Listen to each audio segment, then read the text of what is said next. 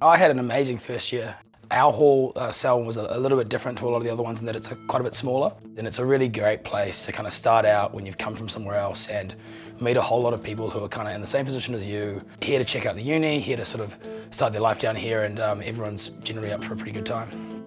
I'd always thought about commerce and I think it provides quite a nice complement to the law where it's, you know, law is about sitting down, reading, analysing sort of specific scenarios in their own context. And when you can kind of couple that with an understanding of, you know, how the world economy works and, and how kind of financial institutions work, um, I think it sets you up pretty well for, um, you know, going out into the world with a nice broad set of skills.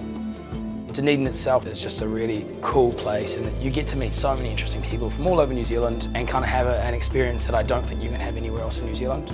The law school here, in terms of the students, everyone kind of knows each other and it's a really collaborative sort of environment which is really great for learning and so definitely being in this kind of close-knit kind of community that Dunedin is, you, you really do build up those sort of academic networks to be able to have that extra help when you're studying and trying to get work done.